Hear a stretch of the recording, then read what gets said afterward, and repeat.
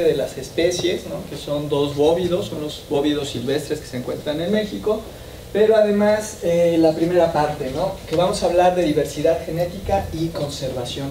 Que muchas veces este tópico, eh, yo no sabía que había cierta controversia a este respecto, pero justo eh, parte de esta plática, además de enseñarles lo que yo hago, es justo tratar de convencerlos de que eh, el estudio de la diversidad genética es una pieza fundamental para poder hacer estrategias de conservación, ¿no? En el caso, bueno, en el estudio de caso de estas dos especies.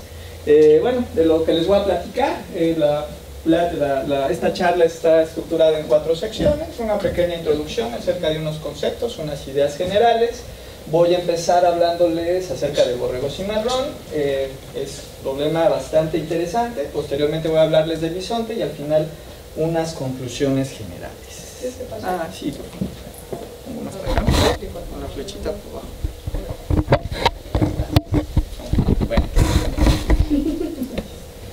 Eh, variación genética. Pues bien, ¿qué es la variación genética? Antes de, de empezar a hablar acerca de genes y este, selección y todo esto, bueno, ¿qué es la variación genética?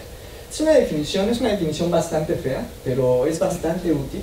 La variación genética es cualquier rasgo que tenga origen en el material genético y que presente alguna forma alternativa. ¿Qué quiere decir esto? Que simplemente si nosotros nos vamos allá afuera y no sé, contamos cuántas florecitas rojas y blancas hay, y este, este, esta característica tiene una base genética, realmente ya estamos cuantificando la variación genética.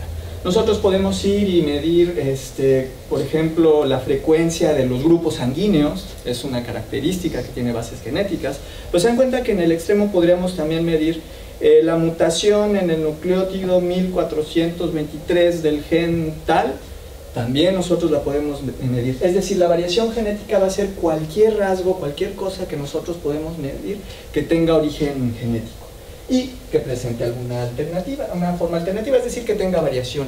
Eh, se dan cuenta que además la variación puede ser entre individuos, entre poblaciones, entre especies y en el extremo entre dentro de un mismo genoma de, algún individuo. ¿no? Pues bien, eh, continuando con esta idea, la variación genética además es la fuente fundamental de variación en los seres vivos, es la materia prima de la evolución. Si ustedes este, no sé aquí qué, bagaje tengan los que estudiamos en la Facultad de Ciencias, queramos o no tenemos un bagaje darwinista, aunque no queramos. Y bueno, recordando lo que decía Darwin al principio, su teoría de la selección natural, él partía del hecho de que hay variación allá afuera.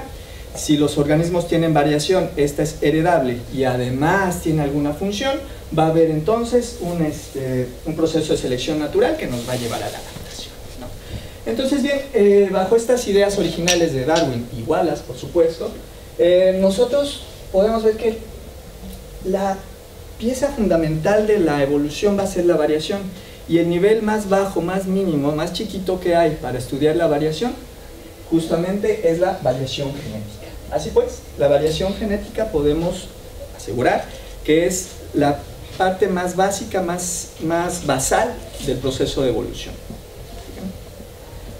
Ahora bien, el estudio entonces de la variación genética está a cargo de la materia que es genética de poblaciones, que eh, se define como el estudio de la distribución y cambio de la variación genética dentro y entre poblaciones.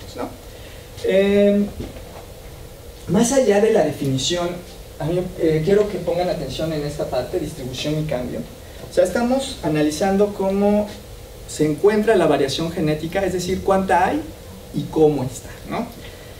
Inmediatamente entonces nuestra cabeza dice, bueno, pues sí, la variación genética la podemos tener entonces en una población, en dos poblaciones, y vamos a ver cuánta hay y qué tan distinta es en estas dos poblaciones. Efectivamente, pero además la distribución y el cambio en las frecuencias alélicas se dan cuenta que puede ser temporal. No solo estamos hablando de, de dos poblaciones que existan espacialmente, sino podemos hablar de una misma población y te podemos tratar de rastrear qué pasó con esta variación genética cómo está y cómo cambió, pero a lo largo del tiempo. ¿no? Eh, todo esto, por supuesto, bajo eh, los preceptos, bueno, bajo lo que es la evolución, es decir, eh, bajo los mecanismos evolutivos o fuerzas evolutivas. So, ahorita, bueno, algo interesante que espero que se pregunten es, bueno, Ok, ¿y qué tiene que ver la evolución, no? Si estamos hablando de conservación.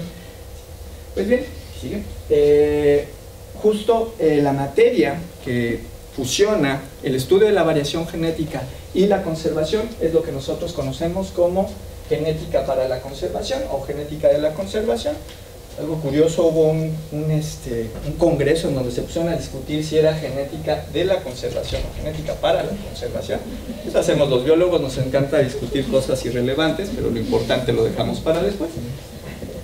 Eh, la genética entonces para la conservación eh, es la aplicación de la teoría de la genética, me atrevería a poner, de poblaciones, para preservar a las especies como entidades dinámicas que sean capaces de enfrentarse con su ambiente ¿no? y que no se extingan.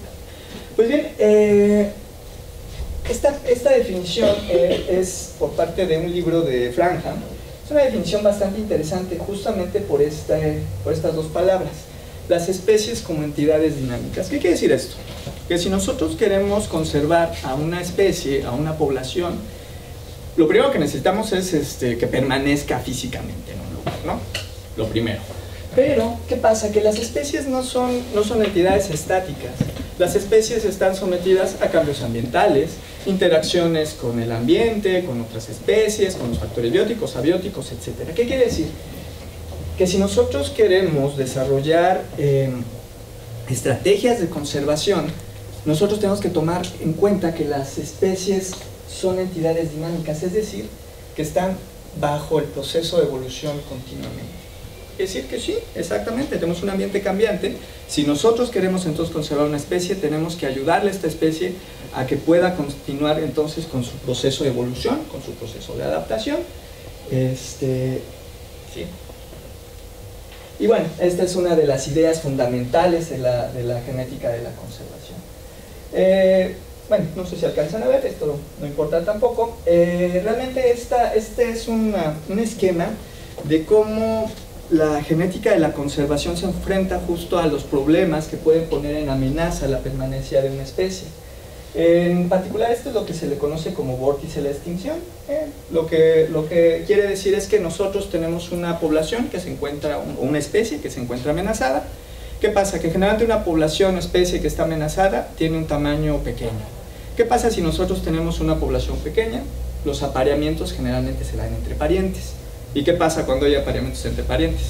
Bueno, aparte de, de que se acaban los linajes de reyes, como en el caso de los, de los humanos, pues ¿qué pasa? Que los hijos empiezan a salir feitos, empiezan a salir asimétricos, empiezan a salir con problemas, y justamente bueno, se empiezan a, lo que nosotros conocemos como la expresión de alelos deleterios, es decir, eh, los apareamientos no aleatorios pueden causar a la larga una disminución en la sobrevivencia de la población. ¿Ok? Tenemos una población chica, tiene problemas de sobrevivencia. ¿Qué es lo que va a pasar a la siguiente generación? Pues que se va a hacer más chica. Y luego, ¿qué va a pasar? Que se va a hacer más chica, más chica, más chica. Entonces, todos estos factores genéticos van a estar obligando y van a estar llevando a esta población que se haga cada vez más chica hasta que lo lleve a la extinción. Pues justamente, entonces uno de los objetivos principales de la eh, genética de, pobla, de la conservación perdón, es evitar esto, ¿no? evitar la, la extinción de las especies. ¿sí? Y bueno, en el ideal, pues nosotros tendríamos que evitar que las especies estuvieran amenazadas, pero justo cuando ya todo falló y lo que tenemos que hacer es justo conservar o desarrollar algún plan de manejo para evitar la extinción, pues también la genética de la conservación nos ayuda para este, eh, desarrollar estrategias de manejo, ¿no? ¿Qué es lo que nos conviene hacer para que no se extinga la, especie o población? Gracias. Eh, sí, a pesar de, controversias, que sí las hay, hay controversias acerca del, de la importancia relativa que tienen los datos de variación genética en la conservación, eso lo podríamos discutir si quieren después en un foro o algo así. Eh, actualmente sí se reconoce ¿no? que para poder hacer estrategias efectivas de conservación tenemos que tener datos de variación genética. De hecho, la Unión Internacional de la Conservación de la Naturaleza ya reconoce como la variación genética como uno de los niveles de biodiversidad a conservar. Eh, en el caso de poblaciones bajo manejo, bueno, pues en principio eh, todo lo que es el manejo de una especie debe estar enfocado a minimizar la pérdida de variación genética. Eh, eh, bueno, esto es bastante útil antes de estar moviendo animales, en el caso de animales por supuesto, este, hay que hacer análisis de variación genética, la que sigue. Eh, ¿Por qué? Porque finalmente cuando nosotros queremos conservar o mover animales, en el extremo nos sale más barato hacer un análisis de, de genética, de variación genética previo a introducir 20 individuos y que estos individuos se mueran. De hecho es carísimo mover cualquier cualquiera en el caso de los animales. Pues bien, eh, los móvidos silvestres en México, bueno, ustedes seguramente ya conocen al borrego cimarrón, Ovis canadensis, eh, está bajo protección especial, no obstante, de manera global es eh, eh least concern, quiere decir que no Debido a que de manera en, el mundo hay muchos individuos y se encuentran distribuidos en áreas bastante grandes, eh, no es de preocupación su extinción a nivel este, mundial, sin embargo a nivel local en México cambian las cosas a nivel local y dependiendo las poblaciones que nos refiramos sí pueden estar bajo cierta amenaza. Otro clic, ahí, de regreso. Ahí. Y la otra especie es el, bisonte de la, de la pradera, ¿no? En México también se encuentra en peligro de extinción, está en la, en la Semarnat, en la norma oficial mexicana. Eh, el caso es, similar, de manera global no está bajo una categoría crítica de amenaza, eh, sin embargo, en México sí está amenazado, porque sí hay una población de bisonte, o había una chiquitita, que estaba amenazada. Ay, gracias.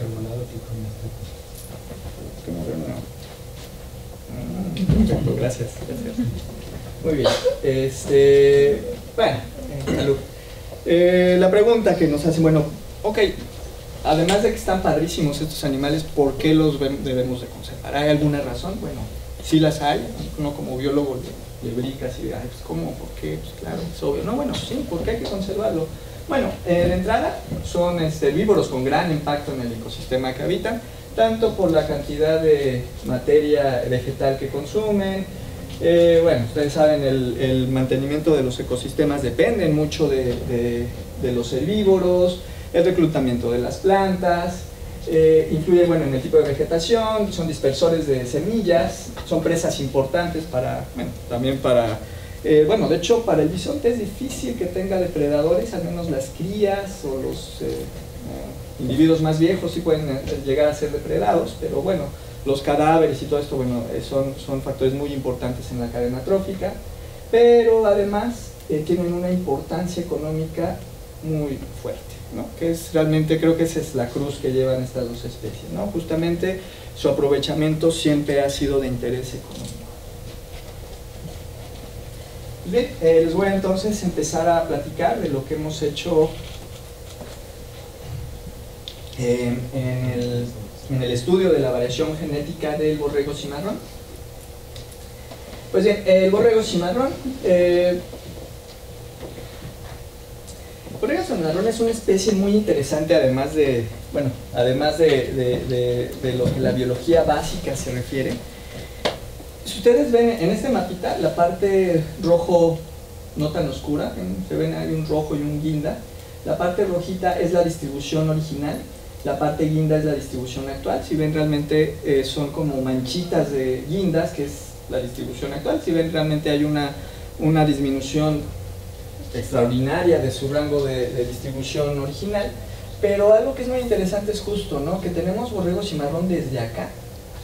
¿Qué quiere decir? Que el borrego cimarrón puede habitar desde zonas montañosas donde hace realmente mucho frío hasta, pues, así que aquí afuera, ¿no? O sea, en zonas desérticas los climas son realmente distintos.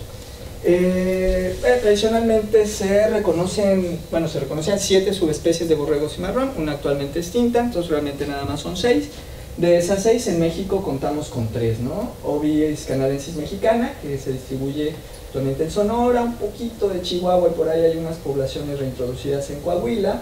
Eh, tenemos Kernobates, que es la que está aquí, bueno, aquí en Baja California y Wensi que se encuentra en Baja California Sur. Eh, dentro de la problemática que tiene, bueno, principalmente la susceptibilidad a enfermedades de, ganado, eh, cuando se introducen borregos o bueno, cualquier tipo de ganado, los borregos, el borrego cimarrón realmente no estaba preparado para enfrentar a todas las enfermedades, entonces empezó a tener eh, declives en sus poblaciones, eso se observó mucho en las poblaciones de Estados Unidos, hay el registro que dicen que cuando un borrego cimarrón y un borrego este, doméstico se olían, ya el borrego cimarrón casi casi se moría a las dos semanas, ¿no? Pues tal vez es exagerado, pero sí, eh, sí, era, sí se morían mucho, tenían mucho, eh, mucho problema sobre todo con eh, parásitos y gusanos, guarrenadores y cosas horrendas, pero bueno, eh, otra de los problemas es que bueno, es la pérdida y fragmentación del hábitat, que eso bueno, lo podemos ver en el mapa. Ah, antes de tener una, una distribución casi continua, en la actualidad tiene realmente manchones de, de poblaciones y la cacería. ¿no? La, la, cacería también tiene varios, varias aristas en lo que podríamos llamar la problemática de, de canadensis. En particular, bueno, la extracción directa de los individuos, ¿no? lo, que, lo que implica cazar y matar a un individuo y sacarlo, ¿no? extraerlos de, de la naturaleza, pero también eh, de manera, si quieren, indirecta, la cacería ha promovido prácticas de manejo que no siempre son las mejores para la especie. Eh, México, ¿qué, ¿qué, hemos hecho con el, el borrego cimarrón? Bueno, eh, debido a que tiene un interés ecológico, cultural y sobre todo económico, la derrama económica que deja el borrego cimarrón es impresionante. De hecho, el segundo lugar, antes era el primer lugar, es el segundo lugar en subastas de eh, permisos de cacería del borrego cimarrón. El segundo lugar lo tiene México, un permiso de colecta se vendió en más de 200 mil dólares. Es una cantidad de, por un, por cazar un, borrego en, Isla Tiburón. Eh, deja muchísimo dinero. Eh, debido a esto, principalmente, bueno, se han hecho múltiples esfuerzos para recuperar las poblaciones de borrego cimarrón. En Sonora se han, todavía cuenta con poblaciones silvestres, pero además se han establecido estos humas, que realmente son encierros, son, realmente este, corrales en donde los reproducen y se utilizan para la, este, para la reintroducción y sobre todo también para la cacería. En Sonora también reintrodujeron a esta especie a Isla Tiburón, más. En Baja California Sur, eh, las humas, también hay, ah, bueno, también hay humas, pero estas no implican en todos los casos el cautiverio de los organismos. De hecho, se pueden considerar en la mayoría de los casos como organismos de, vida libre, a pesar de que muchas humas sí están cercadas, el borrego cimarrón pues siempre encuentra por dónde pasar. Eh, también en Baja California Sur hubo una introducción a una isla, esta eh, isla del Carmen, lo voy a platicar también un poquito más, y en Baja California, sea, aquí hay una veda para su aprovechamiento. El problema también de esto es que mucho del manejo que se ha dado ha sido con información, bueno, de repente alguien dice, ah, es que ayer vi 4.000 borregos, ¿no? Está padre, ah, pues hay que cazarlos. Y luego viene otro y dice, oye, no, es que yo, yo vi pero 20, ah, entonces no hay que cazarlos. No, es que yo vi 20.000, entonces, bueno, Ah, la verdad es que los registros son bastante confusos. El único lugar donde sí se ha mantenido, bueno, así, pues es en Baja California, es aquí, ¿no? Donde todavía hay una veda, al menos para el aprovechamiento masivo. Eh, pues bien, ¿qué se ha hecho en términos de variación genética para, el, en el borrego cimarrón? Eh, pues desde el principio el borrego cimarrón, sobre todo en Estados Unidos, empezaron a hacer los primeros trabajos. Hicieron trabajos sobre eh, necesidades de hábitat, comportamiento, eh, enfermedades, pero se dieron cuenta de algo bastante interesante. En 1979, De Forge publicó esto, ¿no? Dijo, bueno, ¿qué pasa con el borrego cimarrón? Nosotros agarramos una población, bueno, un lugar donde está todo bien, están las condiciones adecuadas, ponemos varios borregos y ¿qué es lo que pasa? Que de repente se mueren, se mueren los borregos, ¿no? Y hay otras poblaciones en donde les va bien, ¿qué es lo que está pasando? Y él, lo que dice es, yo lo que pienso es que hay una razón genética de los individuos que estamos introduciendo. Asimismo, en eh, 1990, eh, Berger, él dice, sí, hay una correlación entre la cantidad de variación genética que observamos entonces en las poblaciones y la probabilidad de sobrevivencia de estas poblaciones. Entonces, justamente llegan a la conclusión de que eh, es preciso hacer análisis de variación genética para poder hacer el manejo efectivo del borrego cimarrón. En México, bueno, en México, ¿qué hemos hecho? En México se han hecho algunos trabajos, bueno, aquí excluyendo el mío, por supuesto, pero bueno, se han hecho varios trabajos. Eh, uno de ellos fue el de Hedry, que trabajó en la población de la isla Tiburón. Eh, utilizó un, un número muy limitado de individuos y lo que hizo, bueno, hay una población que se fue reintroducida a Isla Tiburón y vamos a ver su variación genética. Luego hubo otro análisis similar, un poquito cuestionable, pero bueno, este sí se hizo en México. Este lo hizo un exalumno mío, este Marco Rodríguez, eh, utilizó marcadores, utilizó poblaciones de Sonora y la California Sur, utilizó los marcadores ISSR, en donde se cuantificó la variación genética, pero no los marcadores moleculares que se utilizaron para medir la variación no dieron una resolución real para poder llegar a alguna conclusión. Y bueno, a pesar de estos trabajos, pues quedaron preguntas abiertas, ¿no? Por ejemplo, ¿qué pasa, no? ¿Qué pasa con la variación genética? Ya vimos que la variación genética es importante para el manejo del borrego, es importante para su conservación, eh, con este manejo que hemos estado haciendo en México, ¿qué le estamos haciendo? ¿Cómo estamos impactando la variación genética? Bueno, pues entonces una de las preguntas es, eh, ¿hay diferencias en la diversidad genética en las poblaciones de cautiverio y la silvestre? Toda la pregunta suena obvia, ¿no? Esperaríamos que en una población silvestre haya más variación genética que en una de, en una de cautiverio, ¿no? Pero no es tan fácil. ¿Cuáles son las consecuencias en la diversidad genética en estas poblaciones que han sido fundadas artificialmente? Eh, ¿Existe un muestreo adecuado de la diversidad genética? ¿O realmente nada más estamos, cuando fundamos poblaciones, estamos agarrando una parte de la variación genética, estamos submuestreando la variación genética? Eh, este manejo, ¿qué impacto tiene en general a nivel global?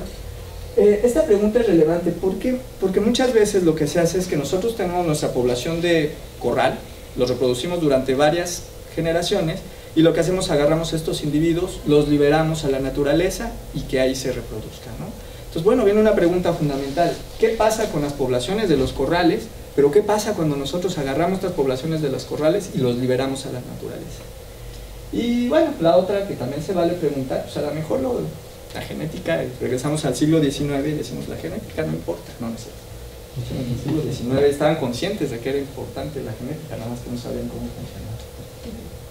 Entonces esto nos lleva a un objetivo, ¿no? Tenemos que evaluar la diversidad genética del borrego cimarrón en México. Entonces, pues, ¿cómo le hacemos? ¿Cómo evaluamos la variación genética del borrego cimarrón? Pues agarramos, nos vamos y muestramos en un chorro de lados un chorro de individuos, es lo que hacemos. Aunque les va a llamar la atención que aquí hay un súper hueco. Eh, las muestras con las cuales yo trabajé fueron proporcionadas en su mayoría por la Semarnat y debido a que nosotros, bueno, que aquí en Baja California eh, hay una veda para su aprovechamiento, pues no nos proporcionaron muestras de Baja California Norte. Entonces los datos que les voy a enseñar son justamente de Sonora y Baja California Sur. Y estos datos también pertenecen a tres tesis de licenciatura que fueron mis alumnos. Eh, algo que es interesante de estas muestras es que para Sonora tenemos muestras eh, silvestres, tenemos muestras que son los que son como unos rachicitos, que son de cautiverio, y tenemos muestras de Isla Tiburón, esta población que les dije que originalmente había borregos cimarrones en Isla Tiburón, se extinguieron hace miles de años y luego se volvieron a reintroducir. Entonces este, analizamos esta población, que es bastante interesante, en Baja California Sur tenemos también eh, un muestreo un poco fragmentado, pero bueno, son estas muestras. Y también tenemos muestras de una isla. Entonces se dan cuenta que este modelo aparte es bastante interesante para estudiar la variación genética. ¿Qué es lo que pasa si tenemos una especie silvestre en cautiverio? ¿Y qué pasa si la metemos a una isla? ¿no? Locochón, pero bueno. Eh, pues bien, les voy a platicar rápidamente de Isla Tiburón. Es esta isla que se encuentra aquí, en Sonora. Eh, se reintrodujo en 1975 16 individuos. Este caso es bastante interesante porque, bueno, lo que dice la teoría es que, bueno, si tú utilizas 16 individuos y los metes a una isla donde van a estar aislados, porque a pesar de que sí saben nadar los borregos, pues no pueden nadar este cacho, bueno, de hecho hay unas corrientes fuertísimas y seguro no atraviesan nadando. Eh, nosotros tenemos entonces una población aislada, pero esta población pasó de 16 individuos a 700 en 30 años. ¿no? Quiere decir, pues le fue muy bien. ¿Por qué le fue tan bien? Es una, es una pregunta interesante. Y bueno, la otra, la otra cuestión también interesante y, también es importante es que a partir de individuos de esta isla se utiliza para volver a fundar poblaciones y complementar otras poblaciones. Pues bien, entonces, ¿qué hicimos? Hicimos un análisis de variación genética. Entonces, no se preocupen de los números, eh, nada más quiero que vean, igual no lo alcanzan a ver, pero no importa. Este es el, eh, estos son los resultados de variación genética que obtuvimos para Isla Tiburón. Eh, estos datos de acá son otros datos publicados con fines comparativos. Si alcanzan a ver, este valor es de 0.5. Esta es una medida, se llama heterocigosis esperada, es una, la medida más este, difundida de variación genética va de 0 a 1, 0 si no hay variación genética, 1 si hay muchísima variación genética y todos los individuos son diferentes.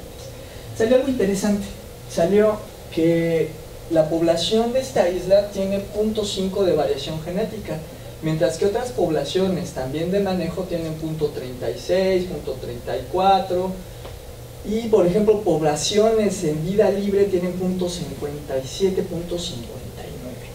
Lo que llamó inmediatamente la atención es que la población de Isla Tiburón, a pesar de que fue fundada con pocos individuos, no perdió variación genética, lo cual es bastante interesante, ¿no? Y aparte, bueno, cuenta con un tamaño efectivo grande.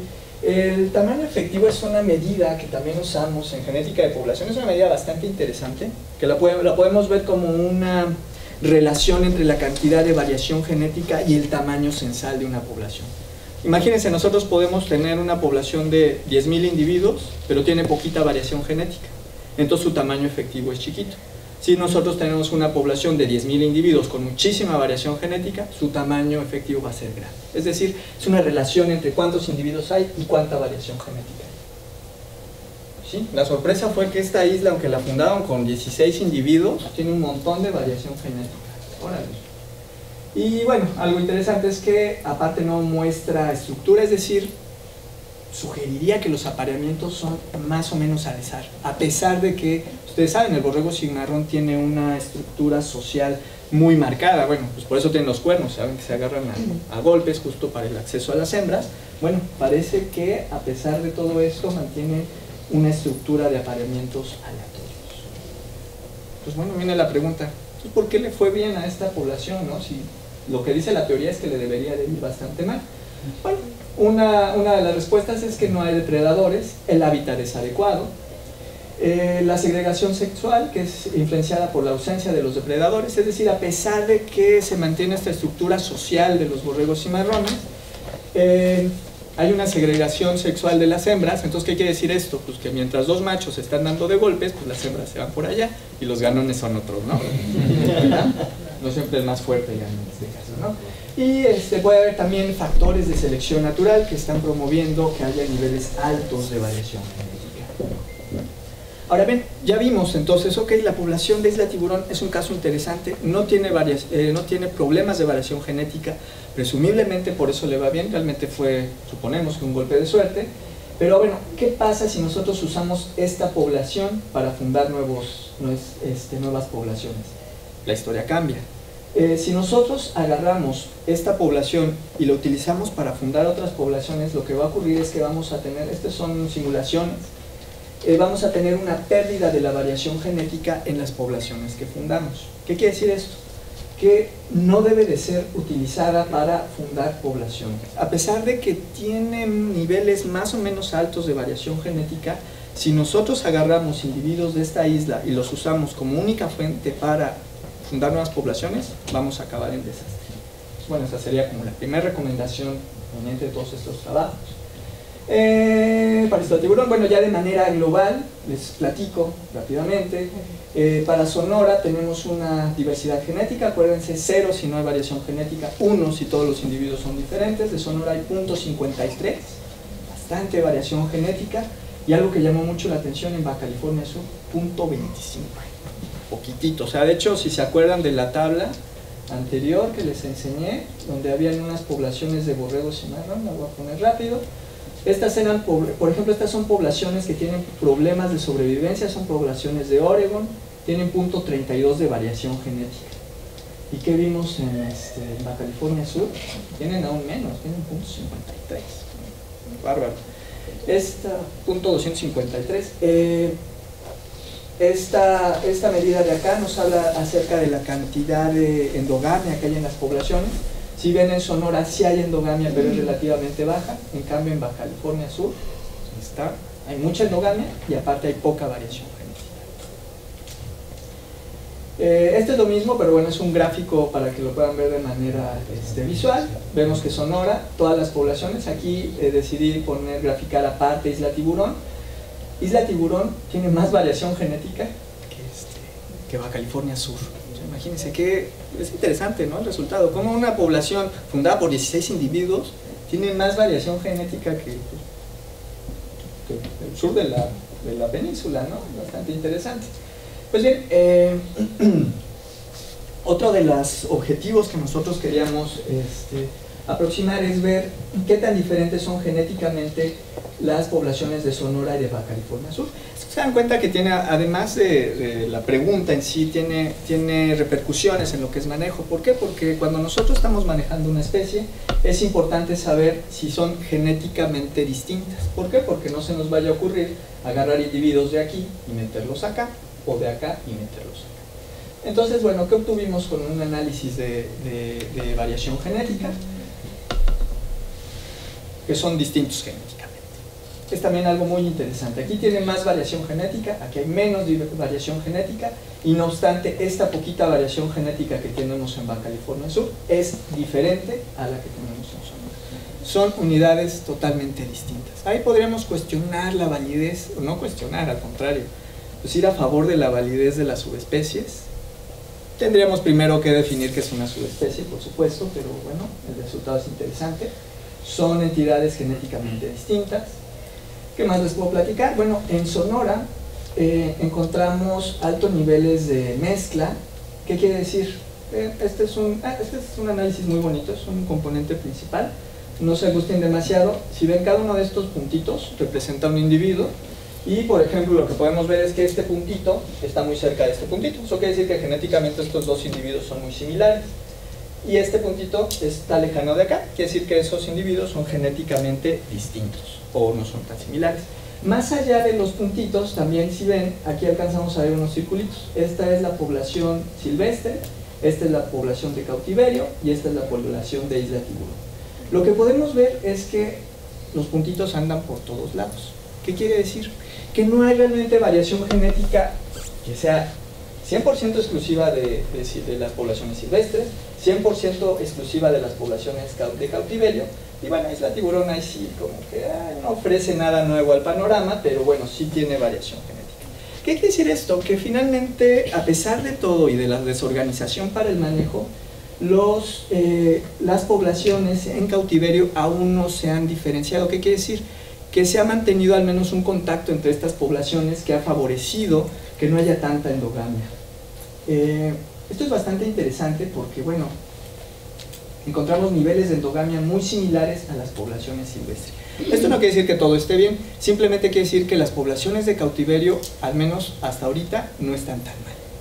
Eh, uno de los problemas es que a futuro, si se mantienen aisladas, podemos, tener problemas de sobrevivencia, eh, digamos, en 10 generaciones pero por ahora no es tan grave, quiere decir que está bien, o al menos está lo suficientemente bien para que las poblaciones puedan continuar sobreviviendo.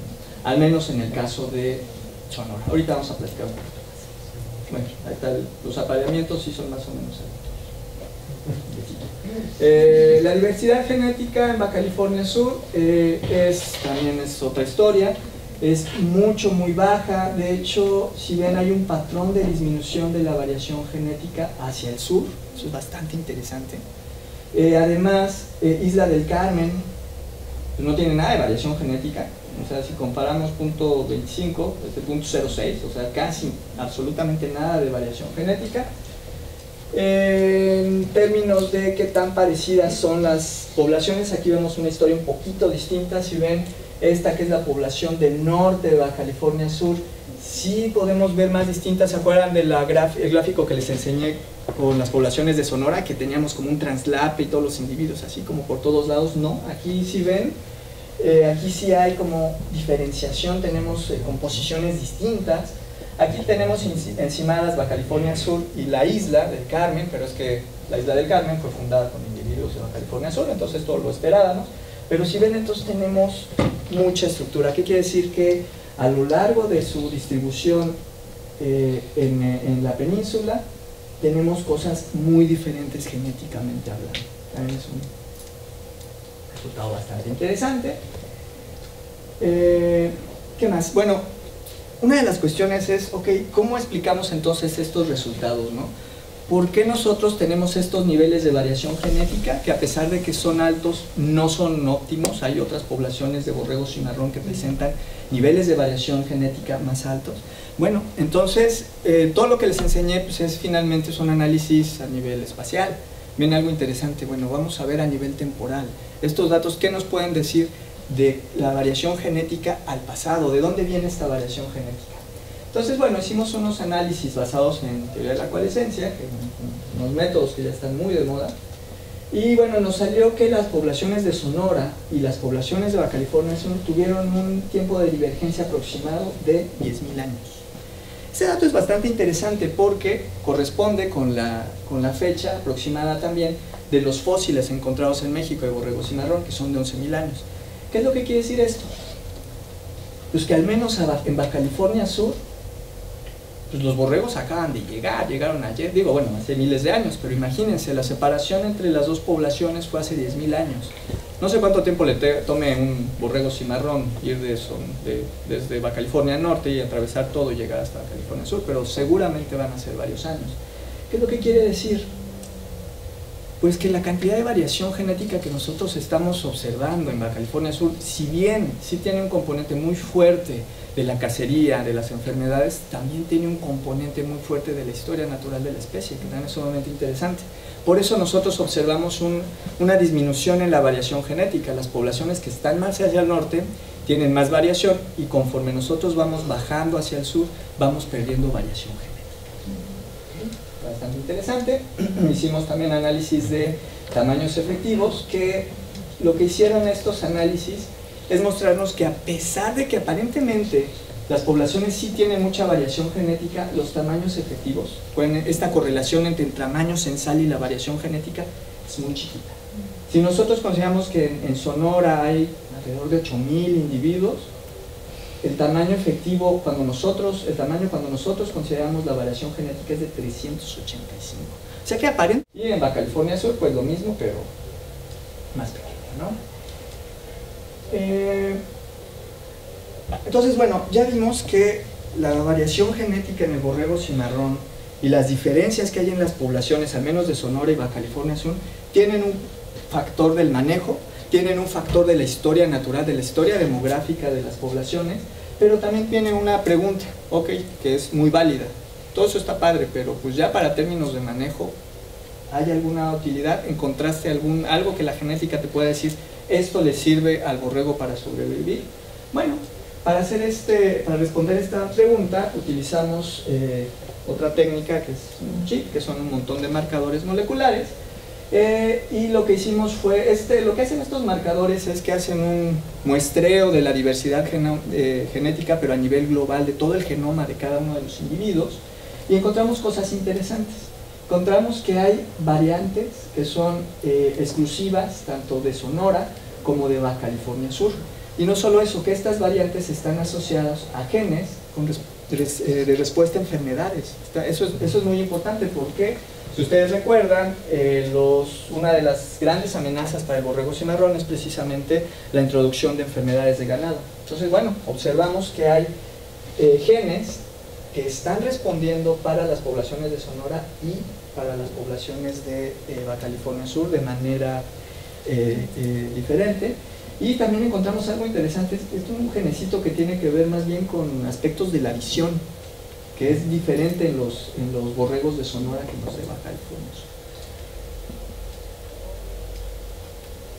Bueno, y además, este, en Baja California eh, encontramos que los mismos genes varían entre ellos, ¿no? También es algo interesante, pero bueno, eso no lo vamos a discutir ahorita. ¿Qué les puedo decir acerca del manejo de borregos y marrón?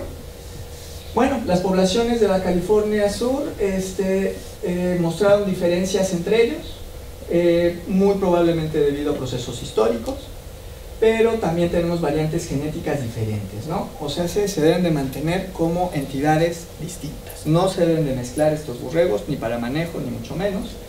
En el estado de Sonora en particular hay que mantener el contacto genético entre las poblaciones de cautiverio, si bien no encontré al menos una evidencia que quiere decir que estas poblaciones estén empezando a tener problemas, es necesario mantener entonces que haya intercambio de individuos entre las poblaciones de cautiverio, manteniendo por supuesto control sanitario, no vayamos a meter un borrego enfermo, eh, hay que complementar, no obstante, para estas poblaciones de cautiverio hay que complementar la variación genética con individuos de poblaciones silvestres, que quiere decir pues, estar continuamente moviendo individuos y incluyendo individuos para evitar problemas de sobrevivencia eh, no hay que usar este, solo una fuente para fundar nuevas poblaciones. ¿Qué quiere decir esto? Si queremos fundar una población nueva de borrego cimarrón, por favor no utilicemos solo Isla Tiburón como se ha estado haciendo, sino utilicemos Isla Tiburón, el rancho fulanito, el otro rancho y si podemos individuos silvestres también es lo, más adecuado.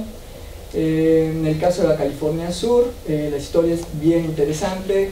La primera es que se debe de mantener correcto corredores que permitan el contacto entre las poblaciones, si vieron genéticamente eran muy distintas, bueno, hay que evitar eh, que vaya a haber barreras que impidan su flujo entre estas, entre estas zonas. Eh, debido a que hay poca variación genética el aprovechamiento, es decir, la cacería debe ser muy regulada y, hay que, y tiene, que tener, tiene que haber un continuo monitoreo demográfico de las poblaciones. Esto es muy importante porque cuando tenemos una población que tiene poca variación genética y nosotros continuamente estamos extrayendo eh, individuos, eh, suele ocurrir eh, eventos que son, como le llaman, catastróficos, pues, o sea, nosotros partimos de una población que tiene 500, empezamos a quitar unos poquitos y de repente nos damos cuenta que nos quedamos con 400, pero esos 400 empezó a declinar la población y al final nos quedamos con 20. ¿Qué quiere decir? Que en una, una población que tiene poca variación genética es más susceptible a, que se extinga si nosotros estamos continuamente aprovechando, cazando individuos, extrayendo individuos. ¿no? no se debe usar la isla del Carmen para nada, digo, los borregos están ahí, viven este, a gusto, pues, se utilizan para cacería, ni modo, pero bueno, eh, la isla del Carmen no se debe de utilizar ni para reintroducción ni para fundar nuevas poblaciones. Si la población la utilizan ahí para cacería, bueno, utilícenla para eso, que no haya intercambio de Muy bien, eso fue en cuanto a borrego cimarrón y ya para acabar les voy a platicar, esto es más breve, eh, de lo que hice del trabajo con bisonte de la pradera. Respiren, esta es la, historia del borrego cimarrón, es un poquito triste, pero está padre, bueno, no, no, no está todo perdido, de hecho cuando empezamos los análisis esperábamos malas noticias, pero de hecho no, es, no está todo perdido, no está tan.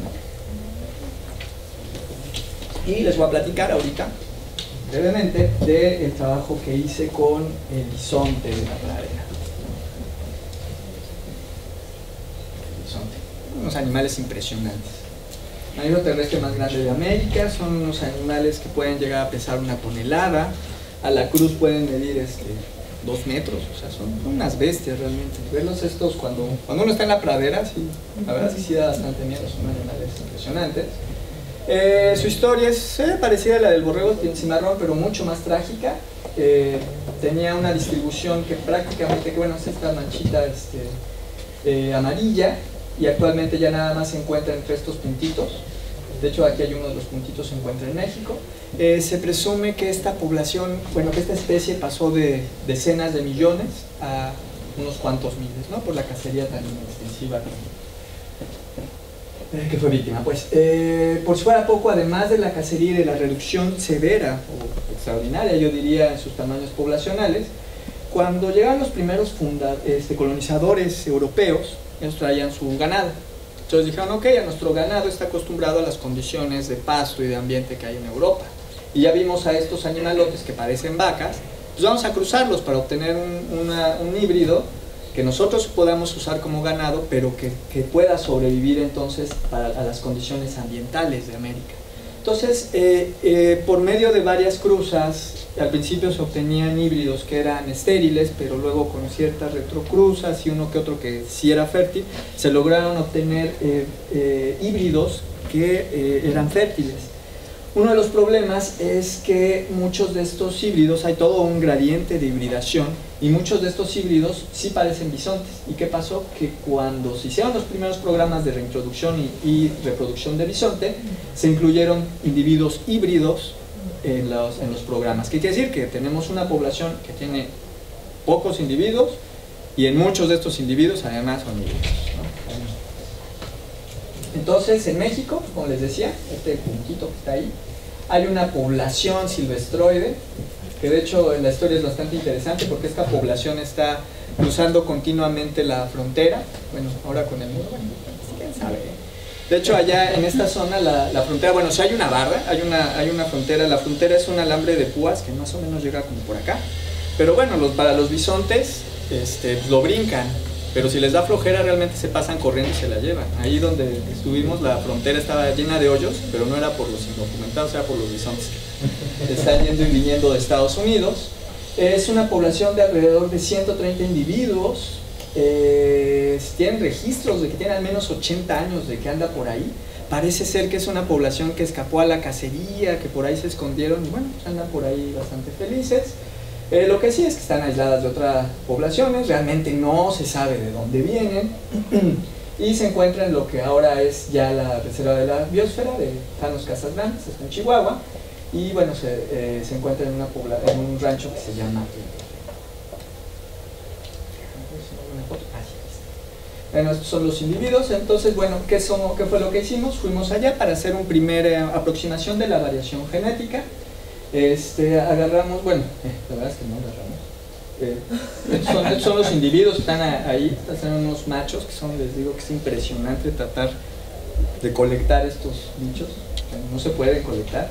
Pero afortunadamente una de las hembras que andaba en la manada se, se, perdió y se juntó con las vaquitas. Entonces esta sí la pudimos muestrear. De hecho, también tuvimos la fortuna que en el rancho estaban vacunando a sus vaquitas, entonces llevaron a todas las vacas y dijeron, oye, ¿Ya vieron esa vaca que está rara? es, una bisonta, ¿no? Bueno, entonces, eh, al menos pudimos tomar muestras de este, animal. Lo que hicimos, la toma de las muestras, es en esencia agarrar. Cuando vaya pasando por el corral, pasas la mano y le arrancas este, pelos, ¿no? Entonces hicimos, la extracción. De ahí, este, de ahí que trabajé yo con, pelitos. Hicimos la extracción de ADN a partir de los pelos de, de bisonte.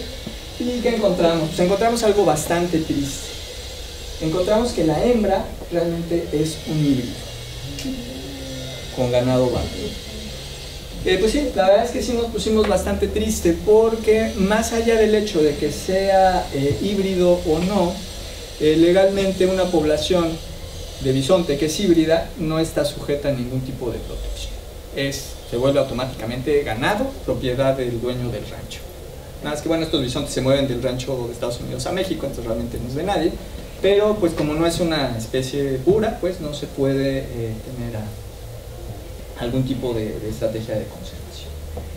Y bueno, pues nos pusimos bastante tristes, pero no obstante, en el 2009 eh, se decidió, bueno, vamos entonces a reintroducir una población de bisontes a partir de una población de Dakota del Sur. Vamos, si ya tenemos una reserva de la biosfera en donde se supone que había bisontes, si ya tenemos el espacio, pues hay que aprovecharla, entonces vamos a reintroducir este, vamos a introducir los bisontes. Entonces, bueno, se tomaron eh, eh, individuos de, esta población, de Wind Cave. Eh, esta, la idea de esta manada es ponerla a que haya reproducción y tratar de hacer programas de reintroducción en otras, en otras este, zonas. las primeras generaciones, bueno, aquí hay un, un, bisonte bebé, la primera generación parece que está funcionando bastante bien, pero bueno, viene la misma pregunta, ok, hicimos un muestreo, y esto es lo que, lo que hicimos en colaboración con TNC, Nature Conservancy. Es decir, ok, ¿cuánta variación genética? Porque sí nos interesa mucho. Ok, pues vamos entonces a medir la variación genética. Entonces usamos un montón de, de, de, este, marcadores. Queríamos ver entonces eh, la variación genética, qué tanta endogamia, cómo está esto de los apareamientos en la población. Y bueno, la pregunta, esta población serviría para fundar nuevas, nuevas poblaciones, que es lo que realmente a ellos les interesa, y también para ver si realmente es necesario incluir individuos de otros lugares, ¿no?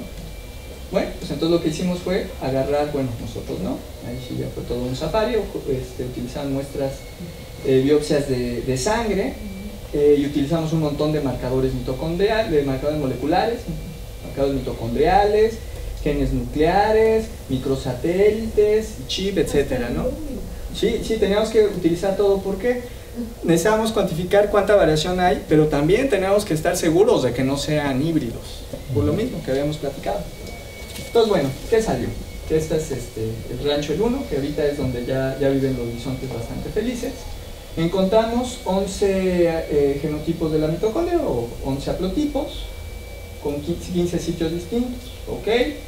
Encontramos solo un, un haplotipo, un genotipo para este gen. Este gen es el interferón gamma del complejo de histocompatibilidad, que este complejo es el encargado de la respuesta inmune cuando hay algún este, agente patógeno. Nos, llamó mucho la atención que solo hubiera una variante, generalmente hay muchas. Eh, la buena noticia es que pues, eran bisontes, ¿no? ok, son bisontes al menos. Eh, utilizamos aparte los microsatélites de los nueve que utilizamos, solo cuatro tenían variación, nos llamó mucho la atención, hay muy poca. Y de los SNPs encontramos alrededor de un 3% de polimorfismo.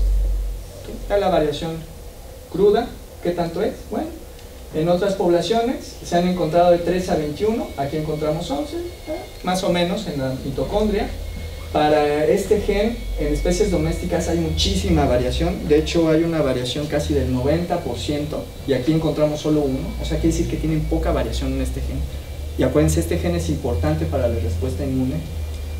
Este, para estos 12 encontramos ah, valores altísimos eh, reportados en la literatura de 0.8, 0.6 cuando menos, mientras aquí tenemos de 0.2, hay muy poca variación genética y eh, valores también del 90% para especies domésticas, diciendo que para nuestros bisontes encontramos de 3 puntos. ¿Qué quiere decir esto? Que la población tiene muy poca variación, muy, muy, muy, muy poquita. No obstante, a pesar de todo esto, eh, al hacer un análisis de endogamia, esta gráfica es interesante, eh, si tenemos valores de este lado, quiere decir que hay mucho apareamiento entre parientes, si tenemos valores de este lado, quiere decir que los apareamientos son totalmente al azar, entre individuos que no se encuentran emparentados. Entonces, si ven, tenemos realmente dos picos, uno en donde tenemos muy poquita endogamia, uno donde tenemos un poquitito de endogamia, que esto nuevamente puede ser causa de los grupos familiares que forman también los bisontes. Los bisontes, al igual que los borregos y marrones, tienen estructuras sociales muy marcadas. Eh, al hacer un componente principal también, si ven, aquí hay como una pelotita de individuos, esta pelotita de individuos corresponde a un grupo familiar con varias hembras. Entonces, bueno, se están agrupando. Estas hembras son parientes junto con sus hijos y tenemos varios otros individuos que no están emparentados. ¿Qué quiere decir? Que, bueno, tenemos poca variación genética, tenemos un poco de endogamia, pero esta endogamia es causa, o presumiblemente puede ser causa, únicamente por la estructura social de los bisontes. ¿Qué quiere decir? Que tampoco está tan mal, pero tiene muy poca variación genética. Y la causa, pues este gráfico ya se los había enseñado, pues sí, ¿qué es lo que pasa? Que nosotros podemos tener un montón de variación genética, pero hacemos un pequeño submuestreo de esta variación genética y lo que vamos a obtener al final es una población que no tiene nada de variación genética. Esto es interesante porque, bueno, es una... No lo hice a propósito, pero yo en un artículo publiqué justo que esta población no era buena idea utilizarla para reintroducirla bueno, fue un accidente, de hecho, yo no sabía que lo habían usado, pero bueno, en, esto ya está publicado, salió que esta en particular, la de Wind Cave National Park, no es buena idea haberla utilizado, pero ya la habían usado. Entonces, bueno, por los grupos familiares, suponemos, es algo interesante, pero digamos de eso, pero sí está, está bien interesante eso. El bisonte... Eh, en la, población original de Janos Casas Grandes tiene individuos híbridos, entonces no se puede utilizar para reintroducción. La población reintroducida tiene niveles de diversidad muy baja, bajos y estos tienen que ser complementados por individuos de otras fuentes. De hecho, ya estaba el, plan de manejo, van a meter individuos del Parque Nacional de Yellowstone. Eh, eh, presentó poca endogamia, pero eh, hay que tener cuidado porque aun cuando tenga poca endogamia, si nosotros continuamos con, con los apareamientos en una población cerrada, puede empezar a haber apareamientos entre paréntesis. Entonces, bueno, tienen que haber este, cruzas de NXT planeadas para evitar la endogamia lo mayor, eh, más posible. ¿no? De manera global, ¿qué podemos decir?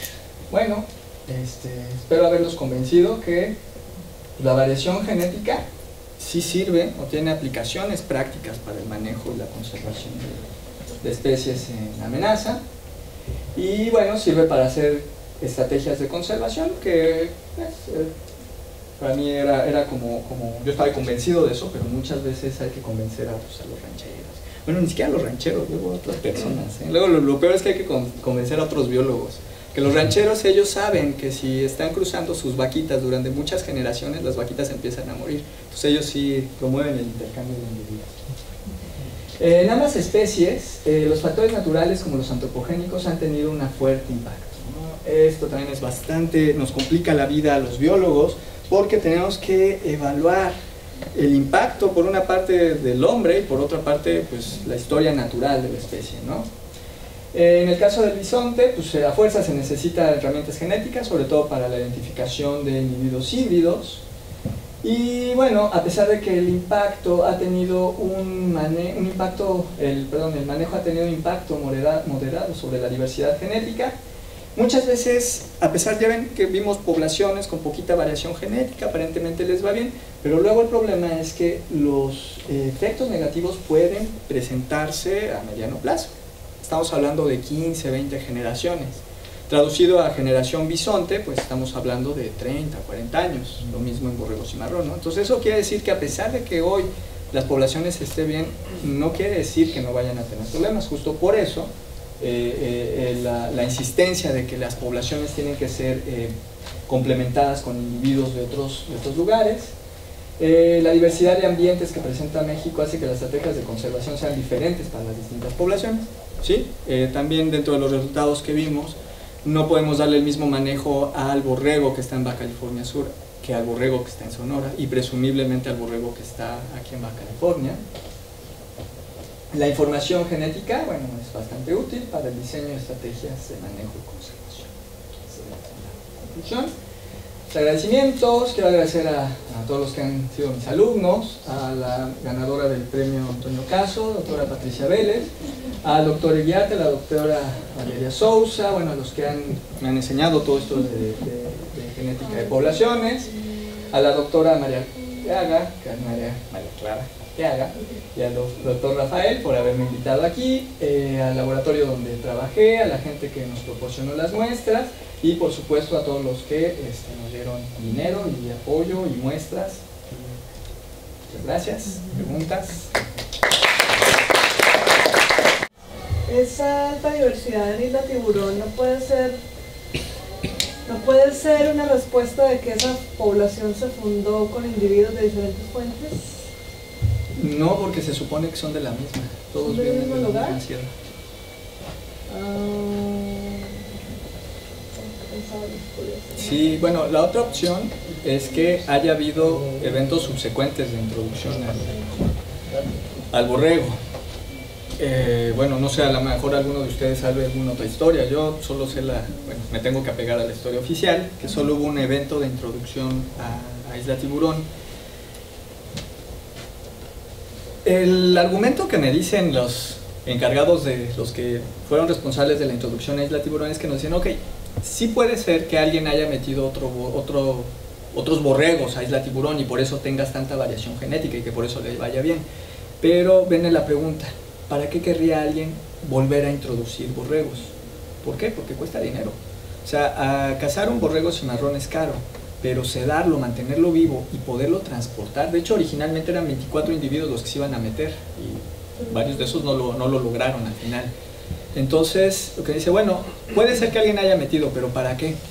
Gastaría mucho dinero si no tiene una razón. Pues bueno, ese es como el argumento que, que me dan. Y bueno, la otra es que por medio de simulaciones vimos que la fundación de la pu- de Isla de Tiburón, pues genéticamente al menos es factible que haya sido de un solo evento. Bien. ¿Sí?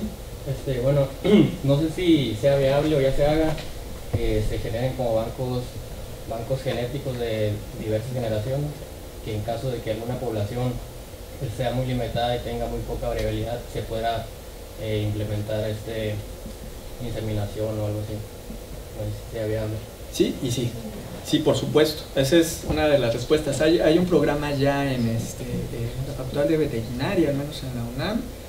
No sé de otros programas, pero ya, ya tienen un banco ¿sí? de, un reservorio genético, pues justamente con esa idea. Y de hecho, sí, lo que dice, sí es viable, es muy viable tener entonces estas, eh, eh, este, este barco tanto de óvulos como de, de espermas, y además sí, funcionarían muy bien para un futuro programa de manejo con este, inseminación artificial. Sí, claro, es muy buena idea. Yo no estoy seguro si en, en la California Sur se tenga algún programa, al menos en la ciudad sí se tiene y es bastante modesto, nada más son con muestras de Sonora. Si estás interesado, podrías hacerlo. ¿Sí?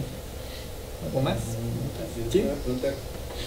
¿Qué de los marcadores que vieron, si solo te pudieras quedar con uno para que los manejadores lo usaran en el futuro? ¿Cuál fue el, el más informativo?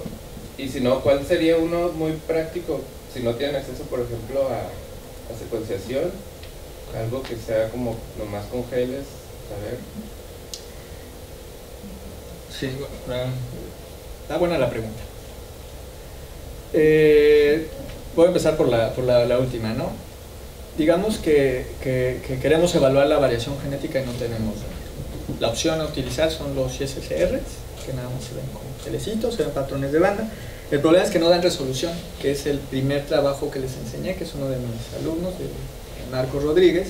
Lo hicimos, hicimos un análisis con un submuestreo de esto que teníamos y realmente a nivel fino no es útil esa.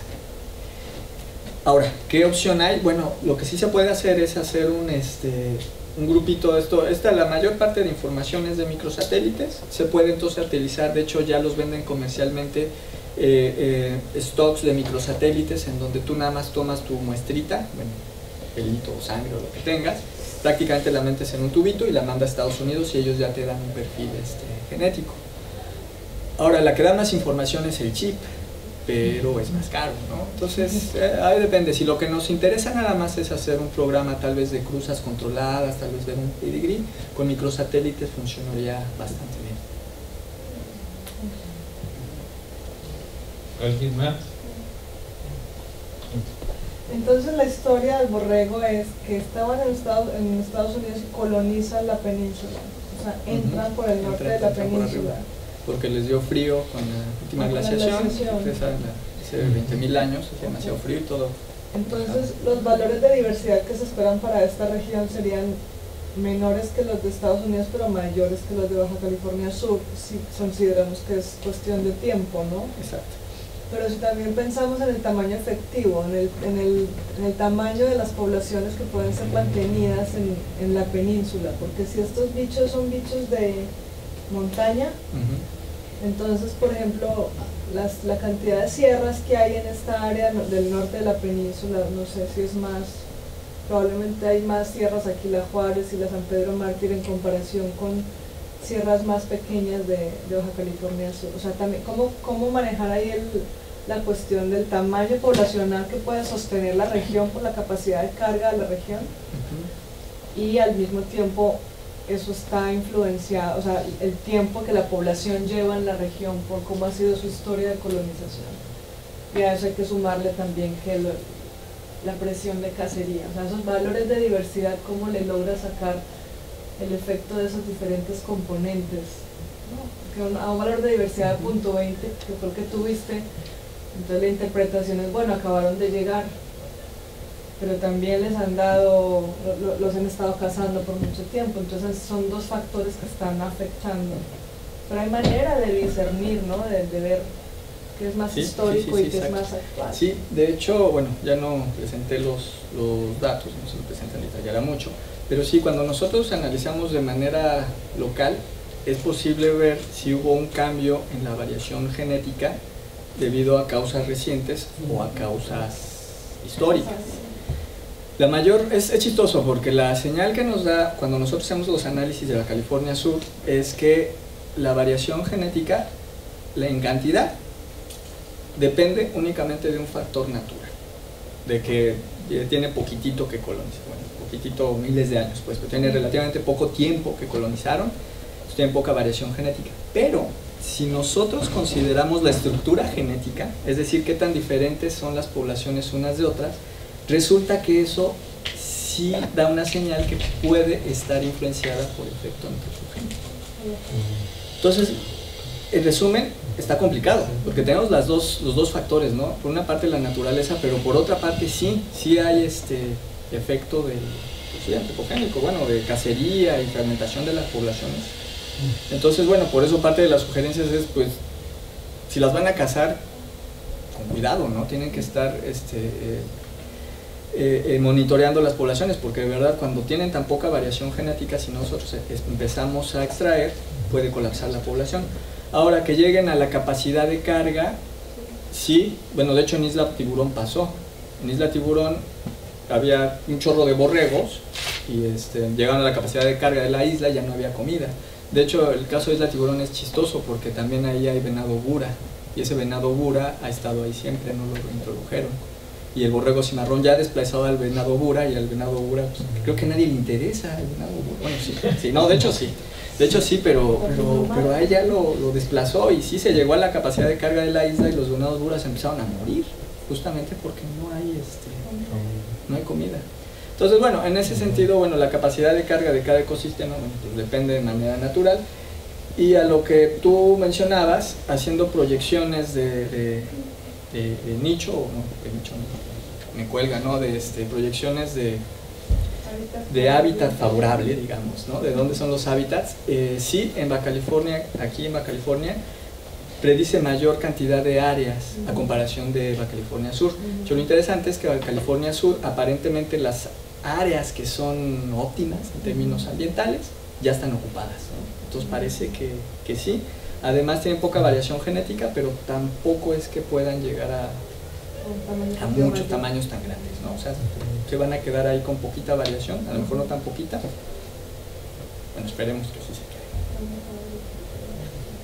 ¿Pregunta, comentarios, experiencia? ¿Sí? Yo tengo una pregunta sobre la población de los bisontes aquí en México. Ajá. Este, ¿No afecta es que yo aún no estoy así en un alto nivel de confusión en esos términos, pero no afecta que sigan metiendo distintas poblaciones, o sea, sigan metiendo de diferentes partes. Sí, por supuesto que sí. Este, no, bueno, no sé si alguien sepa este, geografía de Estados Unidos. O sea, bueno, vamos, a imaginarnos que aquí, aquí están, este es Chihuahua, ¿y dónde está Yellowstone? como por acá, ¿no? Entonces probablemente sí sean cosas totalmente distintas lo que están planeando, porque lo que metieron es de, es de este, me parece que es Nuevo México. Entonces, bueno, lo que está en Chihuahua y lo que está en Nuevo México probablemente se parece. Lo que está en Yellowstone seguramente es algo distinto. Uno de los problemas es que pues ya no hay de otra. Eh, las poblaciones de bisonte fueron tan exterminadas a tal grado de que ya no hay realmente fuentes de otros. A pesar de que hay poblaciones en Nuevo México, en Arizona, en Texas, esencialmente y genéticamente son, los, son iguales. Entonces, si lo que nos preocupa es que tenemos distinta, que tenemos muy poca variación genética, realmente la única fuente es los, los bisontes. De hecho, hay quien sugería, pues, no, pues, entonces no hay problema, mete vacas o mete los híbridos. Los híbridos van a contribuir con variación genética. Pues sí, pero seguramente una vaca no está adaptada a las condiciones que un bisonte, ¿no? Entonces, ese es uno de los problemas, ¿no? Hay, hay, hay un, siempre en biología de la conservación pues, tienes que tomar decisiones con la información que hay. Y en este caso, pues, ni modo, sí sabemos, seguramente son muy distintos, por supuesto. Pero bueno,